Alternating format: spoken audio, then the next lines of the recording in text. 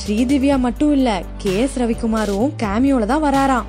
கமல் அஜித் மாதிரி நம்ம சிவகார்த்திகேயனும் ரெமோ படத்துல லேடி கெட்டப் ட்ரை பண்ணிருக்காரு. இதுக்கான ஃபர்ஸ்ட் லுக் மேக்கிங் வீடியோன்னு பல கெட்டப்ப பார்த்தோம். இந்த படத்துல இவருக்கு ஜோடியா கீர்த்தி சுரேஷ் கெஸ்ட் ரோல்ல ஸ்ரீதிவ்யா வராங்கன்னு தெரியும். ஆனா கே எஸ் ரவிக்குமாரும் கெஸ்ட் ரோல்ல வராருங்கிறத இப்பதான் தெரியும். ரெமோ படத்துல கே எஸ் ரவிக்குமார் ஒரு பிலிம் மேக்கரா தான் வராராம். அதுவும் படத்துல முக்கியமான கட்டத்துல வருவாராம். இவரோட மத்த படங்கள் மாதிரி இந்த படத்துலயும் இவர் வர சீனு செமையா வந்திருக்கான் சிவகார்த்திகேயனே நக்கல்ல கலக்குவாரு. இதுல கே எஸ் ரவிக்குமார் வேற. அப்ப அந்த காம்பினேஷன் எப்படி இருக்கும்? இந்த படத்துக்காக அக்டோபர் வரைக்கும் நம்ம வெயிட் பண்ணணும்.